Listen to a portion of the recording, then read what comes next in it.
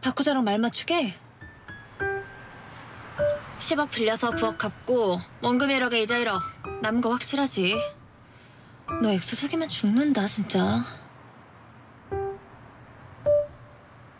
뭐해 달라고 빨리 충전하게 어, 어, 어, 어.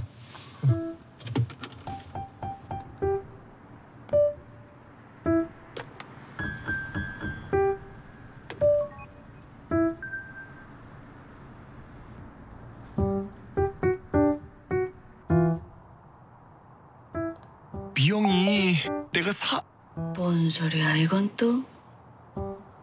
뭐라는 거니 얘? 미영이 내가 사? 이게 무슨 말이야 이게? 핸드폰 뺏겼네 나한테 문자 보내다가 이거 해석 좀 해보자 최 실장님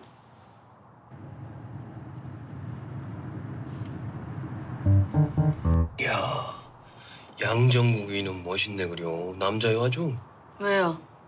무슨 말인데요 이게? 이게요 회장님. 문자가 끊긴 게 아니라요. 원래 이렇게 보낸 거예요. 미영이 내가 사. 이게 끝이라고요? 그러니까 이게 뭐냐면은 미영이를 지 마누라를 회장님한테 산다. 미영이 내가 사. 막 자신 있게 박력 있게 말이요. 응?